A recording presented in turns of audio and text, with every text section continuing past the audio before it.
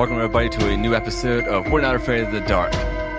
I'm Adam Dutch, and this time I'm joined by a familiar guest. It's Ben's girlfriend, Ashley, joining us, and she's going to be doing this with me without, without Ben involved. They had a, uh, him and Kayla actually went and did another beer run because they were a little twisted tea. Twisted tea, of course. Yeah, hey, the message is out there. We, we are trying to land this endorsement. So again, anybody listening from Twisted Tea, better get on our game right now because we have a few other offers pending. Scary, right? A little bit. We're at the uh, tale of the hatching right now.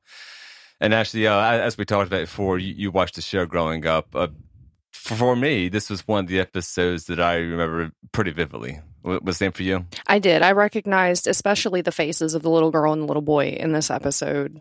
It was I didn't remember the storyline Mm-hmm. exactly, but I as soon as they showed up, I recognized especially the little girl. Yeah, I was actually the opposite. I remembered like definitely the pool scene and and the eggs more than I did like the character faces. Yeah.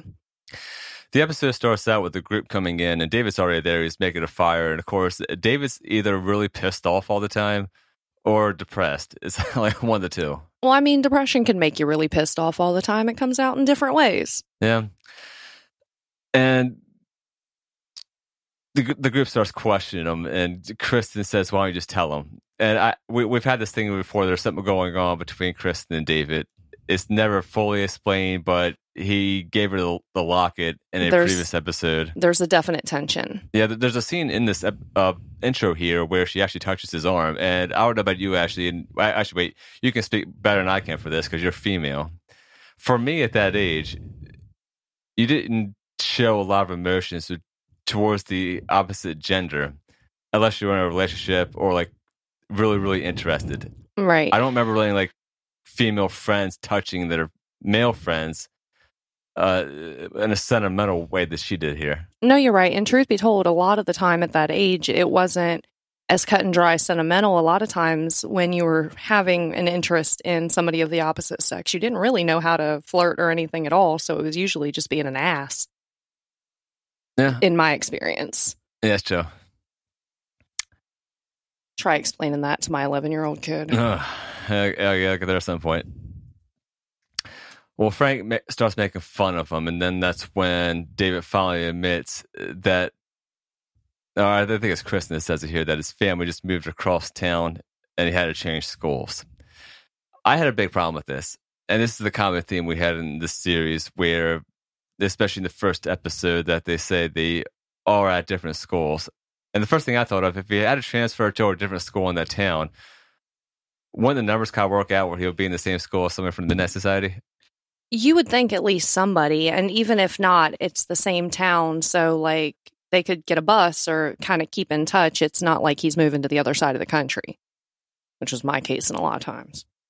Yeah, and I mean, we, we've definitely seen from the, the casting here that a lot of these people have worked with each other in different episodes and things like that. And I'm, I'm thinking to myself, like, how big is this town in Canada? Um, do they ever really specify like They, they never spec- specify the uh, province or anything like that. I guess technically it could be a bigger area. However, they are out in the woods randomly here and there, so you would think in a more city environment the parents wouldn't be as okay with that, and there would probably be less woods to find. So I would say they'd have to be somewhere fairly rural. Yeah, and, and there's a funny uh, line at the end here that I'll, I'll bring up when we get to that bit. When David starts going on that sometimes going to a new, new school can be an issue, and he's trying to make the best of it, but it came up with a story, and that brings us to the tale of the hatching here. Right. He says it's about two kids who go to a new school and is stranger than anything that they imagined. And you brought up an interesting point to me about one of these credit things. I did. Um, we have a Carol Ike, Carol spelled with a K, Ike spelled a little different. Um, as you get further into the episode, you realize it's kind of a reptilian thing. Um, I thought it was kind of funny because there is a David Icke that is well known as far as his kind of conspiracy theories as to a reptilian race currently. And I thought it was kind of interesting that there is a Carol Ike that was a what was it photography producer Director for photography, yes. So Right. DP. okay so for this episode about a kind of reptilian race Huh, interesting find. And then we see this sewer open up and just like eat this little poodle sitting there. and I, I started thinking about it. Yes. But you have a good point to me. This car just fucking pulls up right next to the sewer. It was right there. The passenger, like whoever was in the passenger seat, got a clear view of this dog get snatched. Green slimes left behind. Oh, I didn't recognize the green slime. Yeah, there was a little bit of slime there. Okay. I think this is the first animal death on the show. It might be. Yeah, I mean, we had an episode before where, like, in the, in the magician episode, the kid comes in, the place is all ransacked, and there's like pigeons all over the place and, and birds, but none of them were actually dead. They were just like sitting out. Right. We meet our two main characters here, Augie and Jasmine, who also goes by Jazz. It says their first time going to boarding school, and they're being dropped off at Blackbrook School because their parents are going on a business trip for six months, and supposedly it's one of the best boarding schools around. Yes. I um I thought it was funny in the very opening after they pulled up at the school.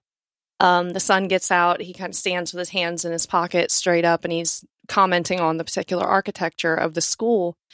His dad comes and stands next to him and it's basically like a mirror image, which is why I found it funny a couple scenes later when the little girl tells him, Jazz tells him that he must be adopted because clearly she's the oddball.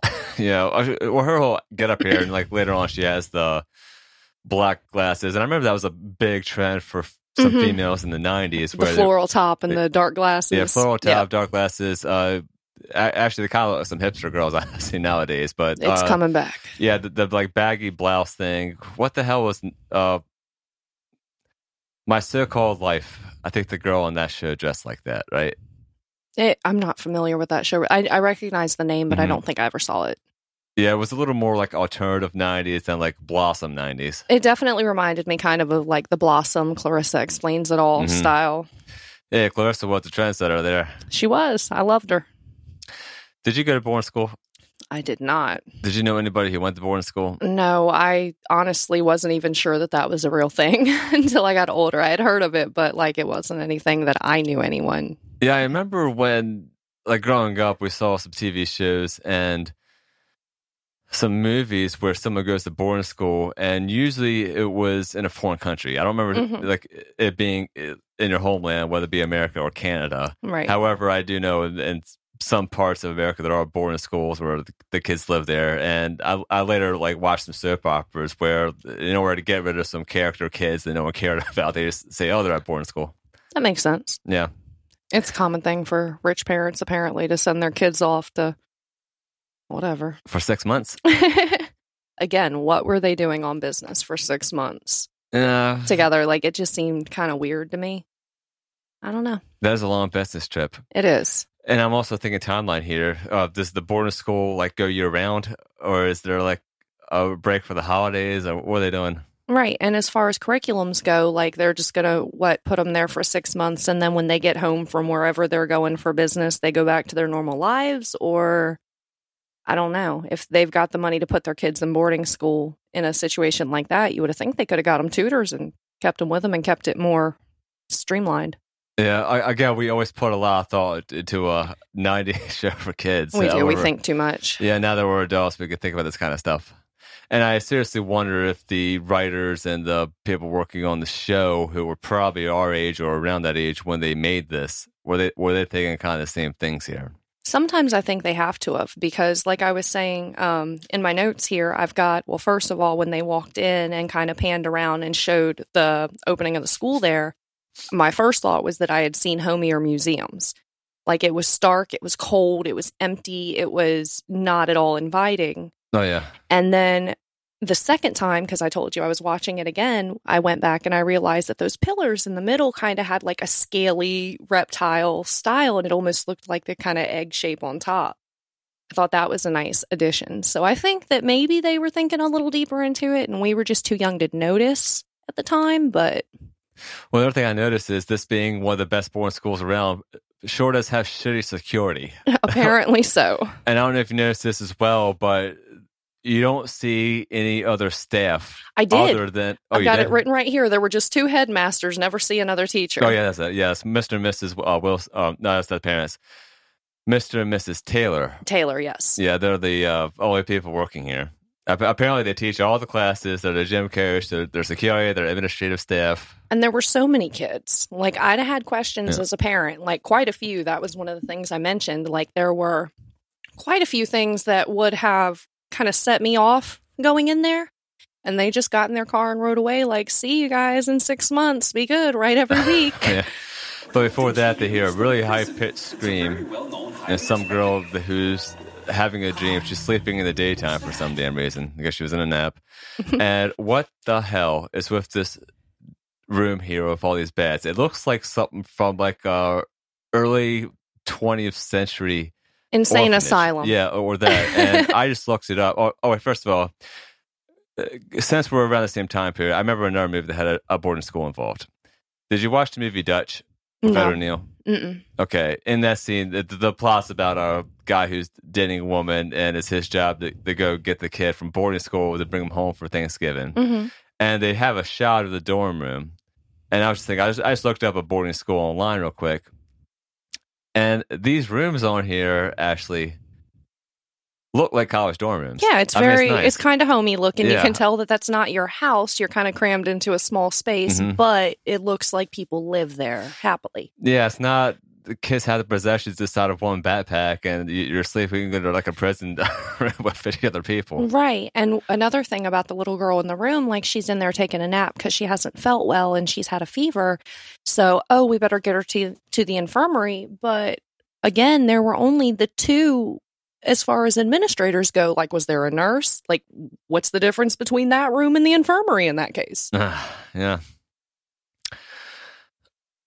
In that room, that's when their parents are, and the kids are introduced to the headmasters, Mr. and Mrs. Taylor. Mm-hmm.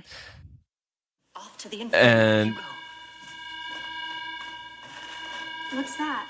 there's a weird like sound from the bell, and he explains that there's different frequencies for different events.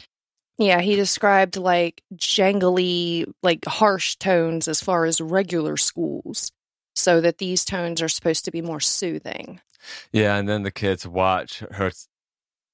Is it in that room that hurts his ears in the office? Yeah, when his watch starts beeping. All right. I also noticed something. One of the, the the scream from the girl was actually higher pitched. It was. Yeah. You would have thought that that might have set him off. I also noticed that he seemed like an extra touchy feely headmaster, and yet one more reason I would not have felt, felt comfortable leaving my son there. Mm. Uh, speaking of frequencies, again, I'm a musician and sound engineer and done some of these things before where I know about pitch and things like that. So actually, I want to do a little experiment on here. Okay. This is our first sound experiment. Let's see if I can do this while I'm recording. Have you ever used a dog whistle before? I have actually.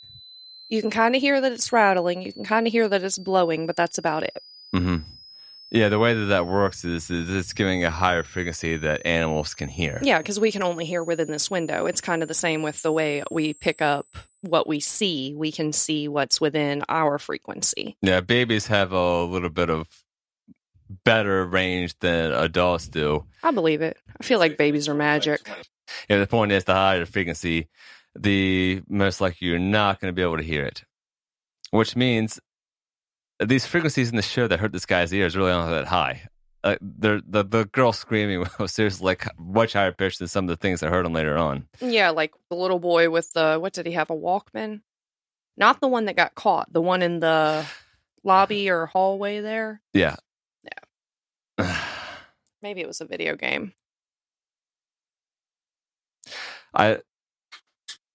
Uh, welcome back. We, we were just joined by our clan here. They had to run out and get beer.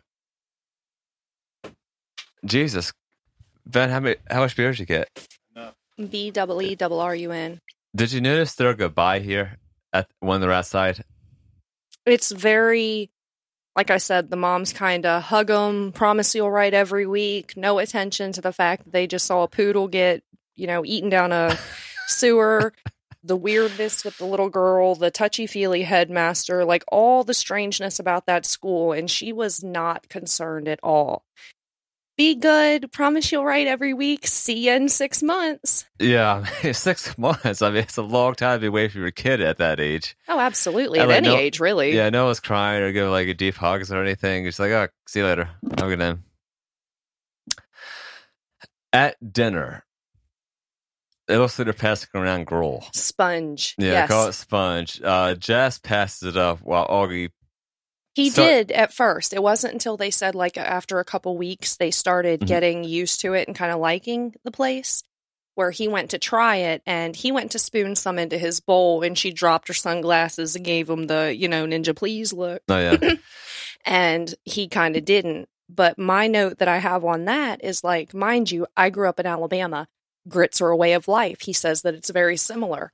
My take is no matter what you put in it, you're not going to be able to get a kid to eat any sort of grit type anything for dessert on a regular basis, period. Like that was strange to me. yeah. And the, the kid admits it doesn't look good, but they have it every night for dessert, and it's delicious. So yeah, what does this thing consisted of? They said it was kind of a grain meal type thing. yeah, so like I'm grits, figuring okay. like grits or, you know, what is it, cream of wheat or something like that. I'm sure you could put some sugar or something in there and give it a more, you know, enjoyable flavor, but that's not dessert. And it's definitely not dessert every night. Do you remember oatmeal swirls from the nineties? Oatmeal swirls. Yeah, it came out by Quaker Oats. It, it was like some coloration to to make. Uh, was it the cereal that looked like little cinnamon rolls? Yeah, kind of. Uh, let me pull up this '90s commercial. Okay. We always got like this '90s commercials here. Got them on deck. Oh, apparently it's '80s food as well. Oh, well. Uh, They oh yeah, yeah. Here we go. Oatmeal swirlers commercial, 1989. Okay. You can give it a swirl. That's creepy. Oh shit, this is very 80s. Damn. I'll probably watch this. Uh, Saturday. Yeah, there it is. The color all, the, all there. Okay, yeah. Yeah, but make a smiley face and oatmeal. All right. See, Yeah, I didn't chocolate. want that. I just wanted the flavored ones. Oh, she just turned. Oh, she had MTV there. Tip it jack toe. Yep, now she's cool. Damn, this thing's 80s as shit. Complete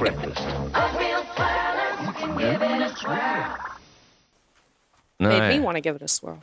Not So you didn't have those?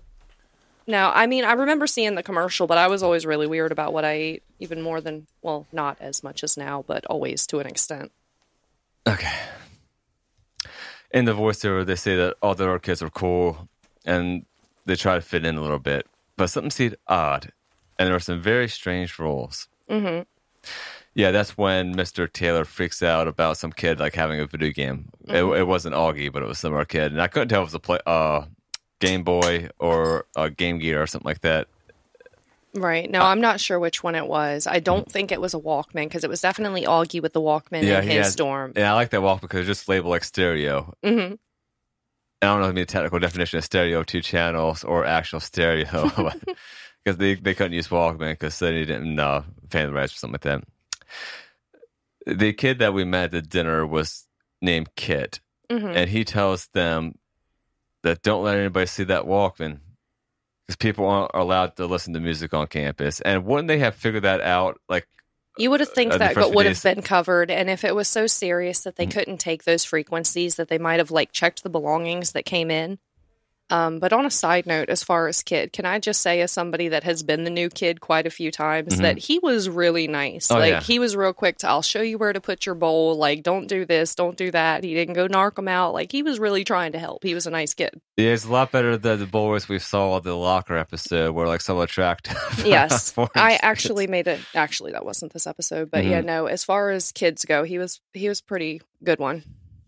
It says that after a few weeks, they got used to the rules and even started to like the place. And my, my thought was, what is there to like? It's obviously they're not having fun there. There's a lot of strict rules, and they can't listen to the music.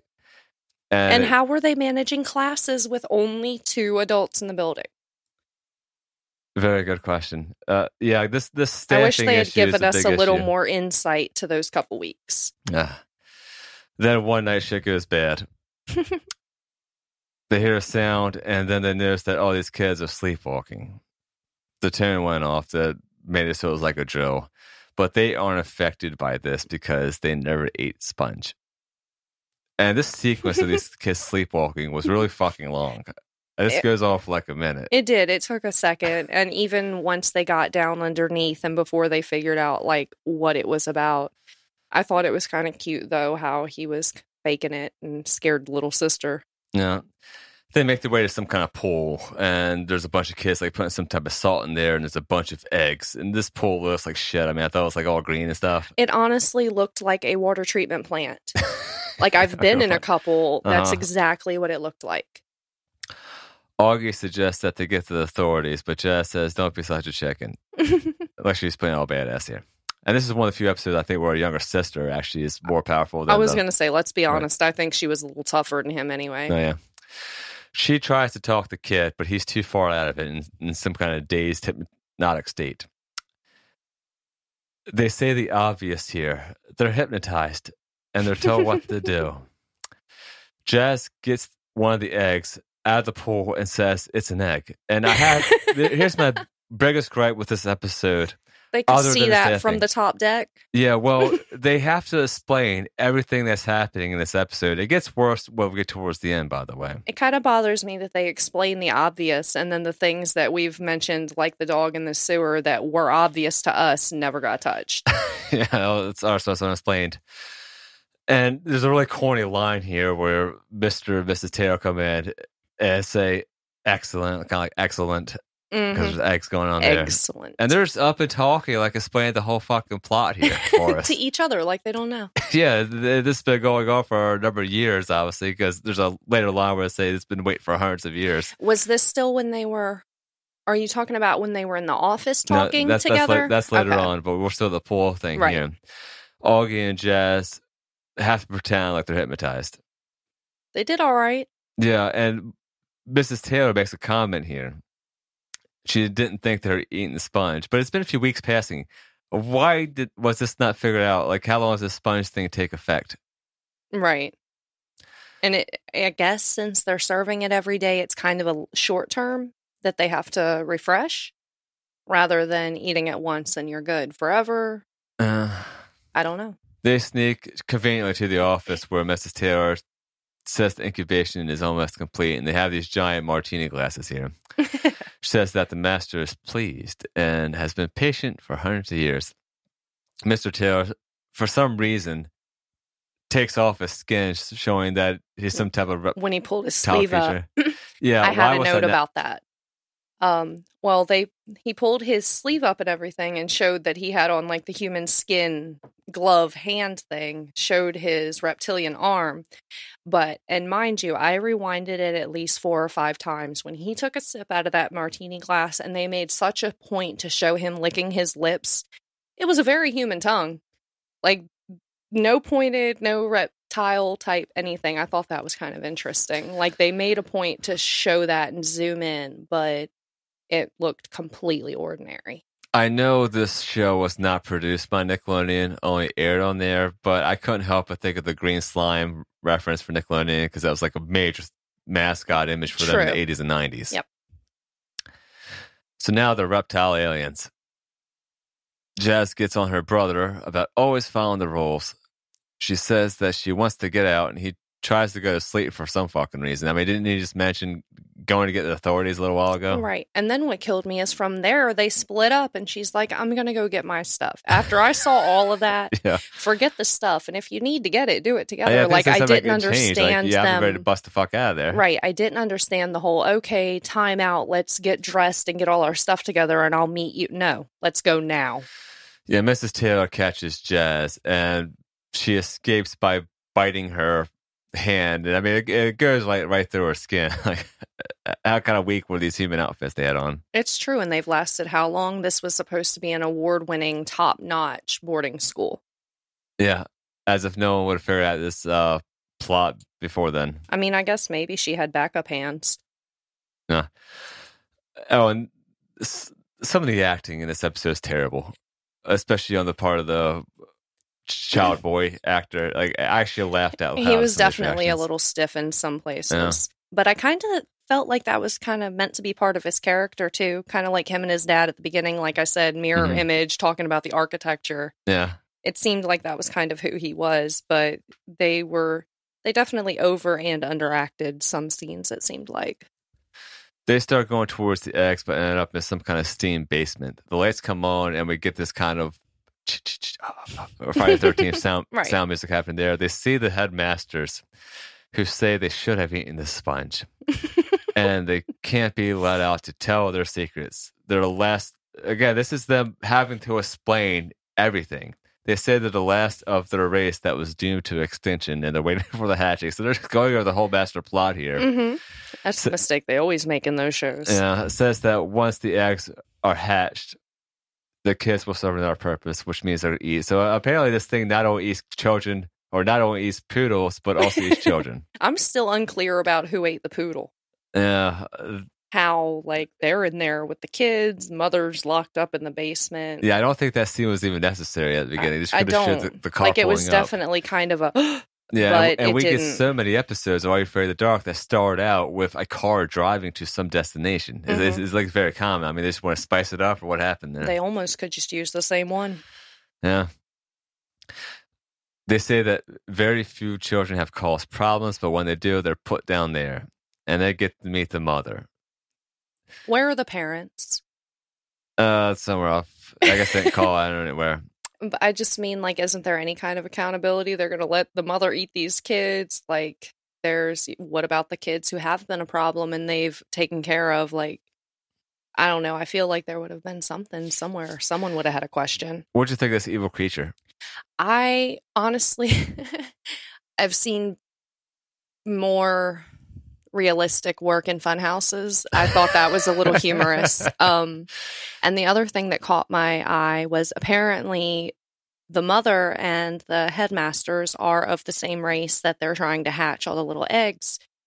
That mother could have never gotten no human skins and passed for like I didn't understand that. Like if you're the same, how are you so different that they can dress up as a human and you're down here like blah in the Yeah, that that was the master, I guess. Uh, yeah, but I understand the whole concept difference there. Augie decides to great idea now because he has to Walkman on to play a high frequency sound. He just took one of those speakers that was used as the intercom with him. I mean, that, that requires like some type of he could have just amplifier or knocked it some off sort, the but- Maybe I don't know. He Well, just plugged the or yeah. cords into his like. I don't, I I don't- this is the nostalgia bit coming up. I don't remember power speakers being a big thing in the '80s, especially those intercom kind. So I mean, That's true. Uh, yeah, cassette just has the tiny speakers on it, but Mhm. he still has a bad shit happening here. He plays some cassette that has some '80s instrumental, uh, heavy metal music on it. It's, it's probably the same one used in the uh, dark music episode. That one had kind of some revive where it's used as a plot device. There, the head explodes, so is slime all over the place, and nothing. literally all yeah. over. Yeah, I did think that was kind of fun. And nothing remains of the Taylors except for their clothes and their shoes. They go back upstairs to find the broken eggs, and the children have woken up out of their trance, not knowing what's happening. Can I just say I'd have been a little more careful? Like if I realized what we had just narrowly avoided, like I'd wanted to make sure that there were no whole eggs left. Yeah, there's that. That's the kind of plot twist at the end here, if you want to call it that. There's one egg that starts rolling around and it starts hatching. I mean, I understand the hurry to get out of there, but Mm. at the same time, like you just narrowly avoided something pretty big and walked away with a continuation on the floor hatching. Well, my biggest issue with, with that is they know how to destroy it now. Mhm. It won't be that hard to kill this fucking thing. That's true. They could have just gone and plugged something in over the speakers wherever the main, I guess, hub would be. You would know more about that than me. Uh, a lot of issues in this episode. And Gary says the corniest line I've heard in Are You Afraid of the Dark here. He says, Everybody go straight home because it's a school night. Uh, what the For hell? who? For them next day, I mean, uh, we, we talked about the timing of the Midnight Society. Uh, we assume they're not meeting at midnight just because, like, I, I doubt that someone's going to let their 15 year old daughter out multiple nights a week to go uh, in the woods to tell stories, you want to call it that. That's true. I mean, if my kid told me that, I'd assume it was a shtick anyway. What are your final thoughts here, Ashley? Honestly, overall, I thought it was a pretty good episode. There were a couple things that I thought were a little wonky and maybe not as thought out, but mind you, I'm looking at that from my age now versus when I was watching it when it was put out back then. I feel like overall it was a pretty good one. I've seen far, you know, less believable, less creepy out of what we've watched so far. Yeah, I agree. This episode for me growing up was one of the most memorable, and I remember enjoying it a lot when I was a kid.